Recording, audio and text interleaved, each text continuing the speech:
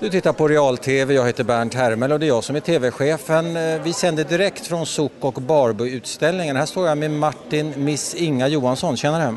Tjena. Hur kommer det sig att alla unga tjejer vet vem du är? Jag vet ju knappt vem du är. Ja, men jag är coachar i Blondinbella, Coachar? mm, hennes, i hennes bloggande. Och då brukar hon nämna mig i sin blogg. Blondinbella har en väldigt stor blogg. Jo, det känner jag till. Vad ger du för några råd? Eh, ja, det är ju hemligt. Det är därför hon är så stor. Men du kan bara säga mellan oss och Real-TVs tittare. Eh, nej, alltså hon ska fortsätta ungefär samma bana som hon har gjort hela tiden. Det är inte mycket till ett råd. Jag får inte säga någonting, bara en taktik. Nej, hon gör ett inlägg till exempel som ska chockera lite. Ett lite hur ambitiös hon är, vad hon gör under dagarna. Och ett modeinlägg minst i alla fall. Och sen så får hon göra två helt fria. Måste hon göra fem om dagen? Hon gör min, minimum fem om dagen.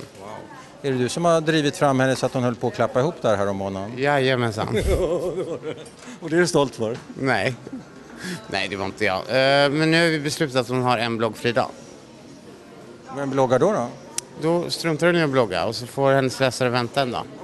Vad, vad är det som får dig att tro att du är så himla duktig på det här med bloggande då? Nej, ja, jag har ju coachat både henne och Linda Rosing och de är väl rätt så stora båda två. Mm. Det är du som ligger bakom dem Ja, två? precis. Du, vad var din första tanke när du vaknade i morse? Eh, hur trevligt det skulle vara att få avtäcka min Barbie här på Sok. Ja, nu kom vi in på det. Men vad- bortsett från det då? Ehm, Det kan ju inte ha varit din första tanke. Nej, jag, jäkligt, jag hade jäkligt mycket att göra idag. Vi har, vi höll på, omlanserar, eh, eller vi höll på att lansera en guide på min hemsida, alltså hanky.se. Eh, Men vad var din första tanke när du vaknade i morse? att shit vad jag är sent till mötet. Du, om du blir statsminister, vad skulle vara din, för- ditt första beslut?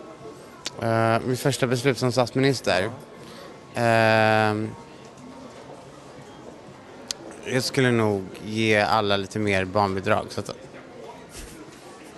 det är så dåligt. Så att man som, som ungdom kan ha lite kul. För sen när man är vuxen blir det inte så jävla kul. Så då kan man få kul då i alla fall. Har du kul nu då? Nej. Jo, det är klart jag har. Jag har alltid kul. Det är alltid kul. Ja, bra. Ska vi runda av då tycker du? Du får hälsa till någon.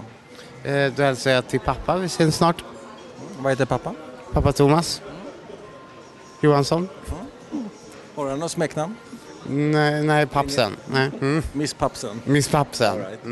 Du tittar på Real-TV, jag heter Bernt Hermele, det är jag som är TV-chefen och nu över till studion. Och Jonas!